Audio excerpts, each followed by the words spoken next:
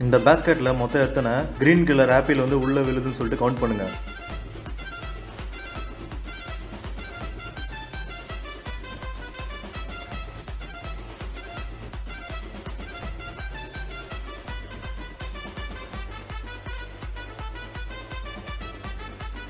கரெக்டான ஆன்சரை கமெண்ட்டு சொல்லுங்கள்